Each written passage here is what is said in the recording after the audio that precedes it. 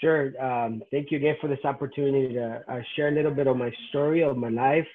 Uh, if I was to summarize my story in one sentence, in a couple of words, it would be uh, I'm a miracle of God, right? And the reason is because I was born, uh, I was born in the second poorest country in the Western Hemisphere, uh, Haiti being number number one, and then my beautiful country of Nicaragua uh, is second, right? And I had three things against me. Uh, first of all, I grew up in poverty. Uh, uh, Nicaragua was very poor, uh, live on a dollar a day.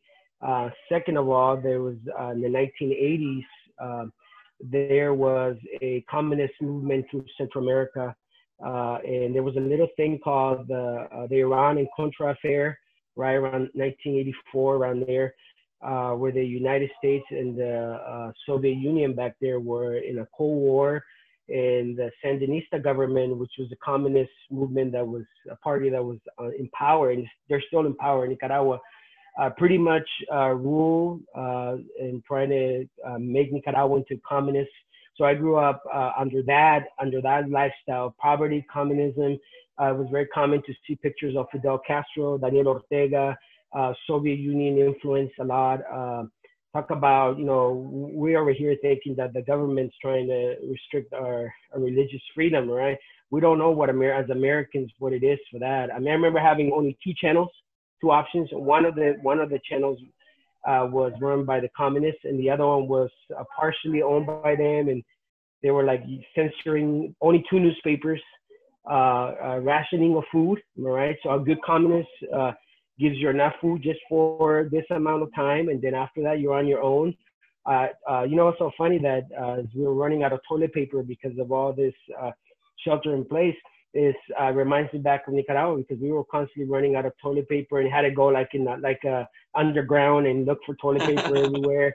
Uh, same thing with the with the food, right? The milk and all that stuff. So, and then the third thing is that I grew up in a very untraditional home. My my father was not very present in my life. He had other uh, other priorities that, w- that were ours.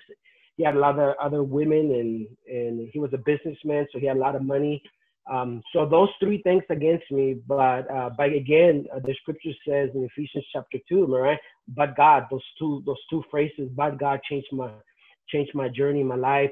Um, so when I was around seven years old, my uh, my mom divorced my dad, and my mom decided to come to California. So she made she made the the first trip. This is my mom. My mom's my hero, man. My mom's my hero. She made the amazing trip from Nicaragua. I mean, through through uh, walking, buses, whatever it took to get to uh, to get to California. She raised enough money to be able to come back for us, because at the time, around 1986, the the Sandinista government um, made uh, the United States was funding the Contras that were the party that was against the the, the Sandinistas, and they, they were trained. The CIA was training, and I lived through this. The CIA was training uh, uh, the army in uh, the Contras in Honduras, and the United States was funding, and that's when the Iran Contra affair and everything happened. So the Sandinistas had this great idea. Why don't we get all the young men that can carry an M16 and go uh, uh, take him to go fight in the jungles of Nicaragua.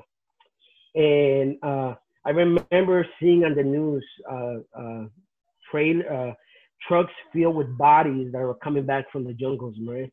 And uh, hear stories of, of my friends and, and cousins that that uh, some of them came back, some of them didn't come back. And my mom is hearing all this, and she goes, "I got to come back for my kids." Yeah. Because I, I'm a big boy, so and uh, as long as you they didn't care, they didn't ask you for ID. Oh, they just picked you up from the street and they sent a letter to your mom or whatever. Say we're taking him to the to fight. So they, they give you a little bit of training. You're able to hold that M16. You're gonna go fight the Contras because the United States is the evil empire, uh, imperialism of the United States, and all that stuff that comes with the with the uh, the propaganda that they were trying to sell to to the to the Nicaraguan people uh, and the poverty and all that stuff. So my mom comes back, takes us, and we made that journey. I made that. I was uh, around nine years old when I came to the United States. We made that journey walking from Nicaragua to Honduras, from Honduras to Guatemala, from Guatemala to um, to Mexico, Mexico, and across the border. And I'm I'm blessed that at that time the uh, it was just but God, right? But God through all that, my mom and, and some other people, like what we see on the news uh, of the people coming from Central America to to the border. That's that's what that was. That's my journey. And uh, I mean, I, I was I was in the in the bus. I was behind in a in an 18 wheeler, whatever it, it, took to come to America, right? And we were able to cross the border, uh, like they say here illegally, uh, but by God's grace, uh, my mom was able was able to. Um, uh, we were able to cross. We ended up in in San Francisco, and um, my mom I'm telling you, God's grace, God's love, God had a plan for my life, for my sister's life, and my mom, my sister, and myself. Uh, my mom ends up working with this lady and ends up meeting uh, uh, her future husband. And it was, this is within within the within maybe a month. She ends up meeting her future husband, and they were married for almost 23 years.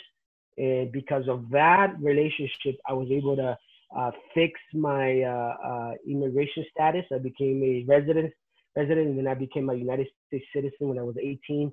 Uh, but all this, I just want to let anybody know that uh, whatever they're going through, uh, to trust God's hand on it. God, God's in control of. I th- I think about how how God chose me. I don't know why He chose me. I could have been dead many many times ago. I got m- many stories of living in Nicaragua where where I should have been dead even at a small age and even through the war and, and even my journey here to the United States, which was very dangerous, uh, God's hand was on me. So uh, I don't